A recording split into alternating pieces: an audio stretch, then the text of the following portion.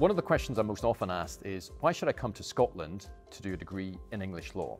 Well, Dundee has got a very long established tradition of delivering English law. Throughout its inception as a university in 1967, and even before that, when it was the law faculty uh, of the University of St Andrews, we have taught English law. Our graduates have risen to the very highest levels of the legal profession, uh, both in terms of the judiciary and in private practice. For me, the greatest strength of Dundee Law School is the support that we give to our students.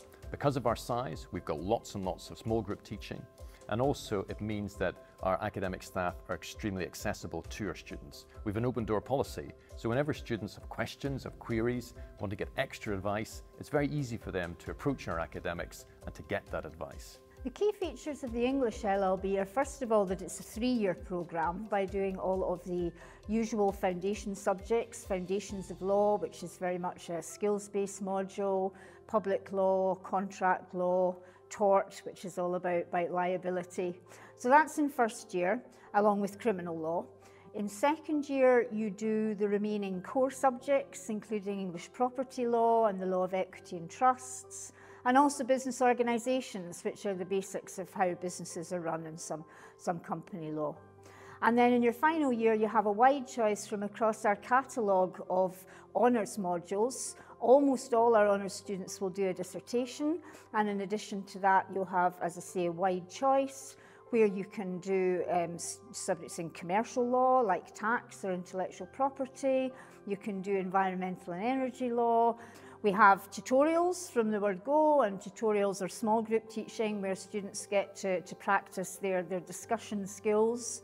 We have a core moot in first year where students are required to do a moot, which is like a mock trial. And a lot of our students are very active in the mooting society, especially the ones who might see themselves as wanting to be court lawyers. Um, I chose Dundee because it had a small law school and I really wanted to come to university where it was much more compact and I guess that way the professors would focus on people just a little bit more.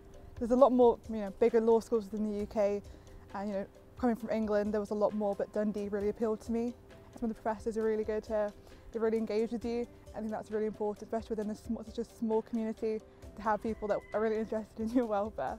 So we have very close networks and links into the legal profession here, across the UK and also internationally. And those, those exchanges of ideas and that impact that staff have can apply both to those from professional background and those who are um, purely academic.